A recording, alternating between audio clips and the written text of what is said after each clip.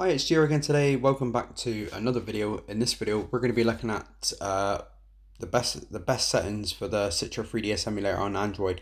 Now, these are my settings, which I think are pretty good. They're a mixture of my own and what I, I read and pick up um, on the internet, that kind of thing. Uh, I will say that if you have the uh, Snapdragon smartphones with the Snapdragon 845 and 855 respectively, you will get a better experience than what I'm getting because I'm using the Samsung Galaxy S10, but it has the Exynos 9820 processor in it. Um, and for the Citra emulator, it's not it's it's okay. Uh, but if you have the Snapdragon, you will get a better performance. So let's go into this, the Citra emulator and let's check out some of my settings.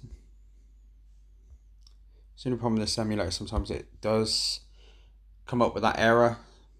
So you're going to app info and then come back out. So my settings. Uh, emulate your region, also. Audio uh, stretching, uh, ticked. System clock type and system clock starting override. Uh, I leave, I don't touch that. Uh, video backend to enable hardware ren enable hardware renderer ticked enable hardware shader unticked, enable accurate multiplication in hardware shaders unticked, enable accurate geometric shaders in hardware shaders unticked, enable JIT compiler for shaders uh, ticked, you will need that.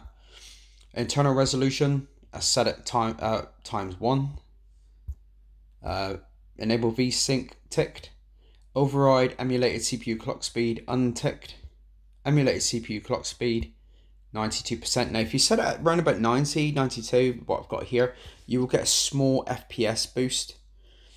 Uh, you can get up to like 3 frame rates a second, so one to watch out.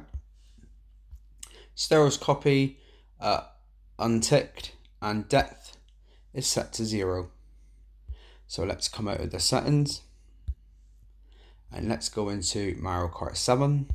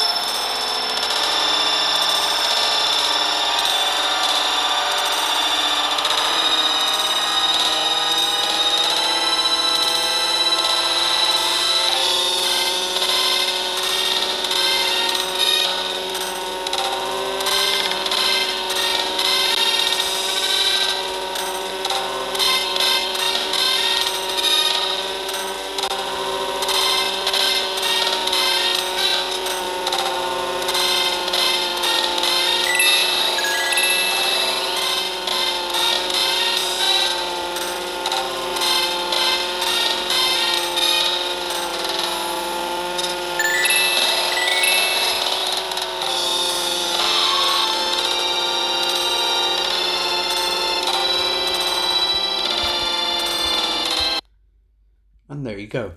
So that's just my settings, but I think on uh, that would be a good settings good settings to have on uh, whether using the Exynos or Snapdragon or custom build or the unofficial build. Uh, but yeah, uh, it's pretty good. So I will leave a link in the description for this custom build. Uh, also, uh, where to get the games, and I'll also leave uh, in the description the tutorial that I did the other day how to download and install games uh, for the Citra 3ds emulator. So if you've liked the video, stay tuned for more, and I shall see you soon. Bye for now.